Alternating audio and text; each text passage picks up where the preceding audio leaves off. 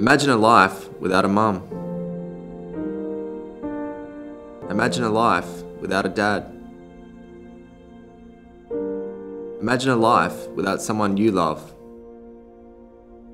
Heart disease kills one Australian every 12 minutes. At the Heart Research Institute, we are working to detect, prevent, and find new ways to treat heart disease. Your support will help us continue to make significant findings that change the way we live with and treat Australia's number one killer.